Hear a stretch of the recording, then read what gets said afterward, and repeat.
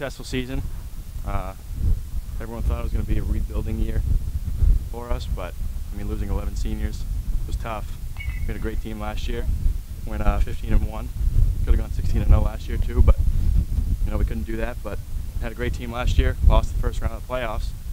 That stunk, but um, this year we did not expect to go 16 and 0. I think each and every one of us is. Uh, extraordinarily happy that we are 16 and 0, 17 and 0 now that we beat Ellsworth, and uh, going to the playoffs. Hopefully, we can win our first game tomorrow against uh, who are we playing? Totally forgot who we're playing. Uh, Madawaska, and uh, hopefully we can go deep into the playoffs. I mean, the beginning of the season, we weren't expecting to go 16 and 0, but we definitely wanted to get to the playoffs. And we knew we would.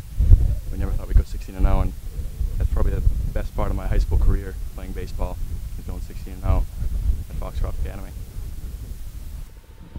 Kevin was a kid who, you know, last year as a junior played about half the time, depending who was pitching. And I knew, you know, as a, I helped out with varsity last year, I knew he was a kid who, you know, could have been playing every game and would have been playing every game on just about every other team. But he never complained. He had a great attitude. He worked hard. He played well when he got a chance, and I think he knew, you know, this was going to be his year. And I had conversations like that before the season with him. You know, you've you've waited for your time. It's here. You know, let's let's have a great senior season, and he did just that. I mean, played Gold Glove caliber defense at third base all year. Really, was just a, a rock for us. Who solidified our whole infield, um, and had a you know a tremendous offensive season. Um, three home runs. You know, tons of RBIs, ran the base as well, scored a lot of runs, um, drew a lot of walks. Teams really feared him and um, just I think added a, a level of, of, toughness to our team and intimidation. And um, you know, we're gonna really miss Kevin a lot next year. He'll be impossible to replace, and you know, I just wish him the best of luck in everything he does, and um, hopefully he'll have a chance to come and uh, hang out and spend some time with some of the younger players next year.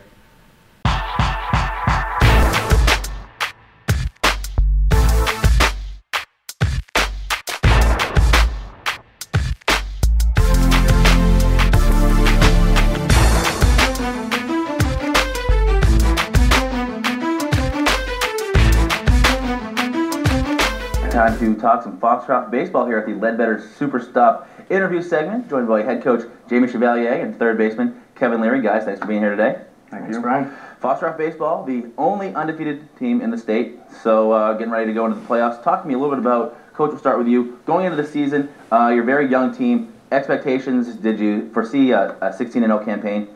Well, I don't know if you ever expect to go undefeated, but uh, we did lose 11 seniors from last year. Um, but we have a really strong sophomore class and uh, a guy like Kevin Leary, a senior, who's really taken the team under his wing. And um, there's only four seniors on the team, but luckily uh, they're very good leaders, and they've shown us the way so far. So uh, we've, we've, had a really good regular season. Yeah, Kevin, talk to me a little bit about going into the season, what you expected, and what ended up happening here. Well, we expected to uh, have a you know decent season, but uh, with having so many young guys, uh, we didn't really expect to go 16 and 0. But once we did, we just looked back and said, you know, last year with playoffs ending in a bad way with Orono. Mm-hmm. We beat them twice this year. We beat them twice last year. Hardest thing to do is beat a team three times, but I believe uh, if we do play them, do see them, we can do it. And we'll, we'll, we'll talk about Orono. You could play either them or Madawaska. They uh, have the prelim game. That'll be Thursday. You haven't seen Madawaska yet this year, but you have seen Orono. Let's talk a little bit about just the, the competition you faced in, in Class C going uh, throughout this regular season. Coach, uh, talk to me a little bit about the possible matchup. Uh, well, we're not too concerned with who we play. You know, we're going to do our thing. We're going to play our game like we've done all year. Orono's a good team. They have good pitching. They got uh, Benoit and Maurer, who are both good good righties. Mm-hmm. Um, but, you know, we, we had one game which was a slugfest with them, 17-12, and and uh, in Madawaska we haven't seen. But uh, like I said, we're going to do our thing, and um, we're going to continue to uh, hopefully pitch and play some defense and, and let Kevin drive people in like he's done all year. Kev, talk to me. You, you kind of uh, agree with Coach? Oh, yeah. Um, we can't wait to just get going. We got a scrimmage tomorrow. Um, we just want to keep the bats rolling. Uh, our defense has been great. We haven't given up many errors. Uh, we've been hitting the ball hard all year. Everybody's contributing. We have a deep, deep, deep uh, lineup. So if, if one person doesn't uh, doesn't you know hit the ball hard, someone else will fill in down the lineup. So. Yeah. And with the high school season in Maine, you get rainouts. You end up playing a lot of baseball in a lot of days. You know, bang, bang, bang, and then you get to the end of the season and you have this long layoff. So you decide to schedule a scrimmage tomorrow. Uh, why do that? Is that just kind of to keep fresh?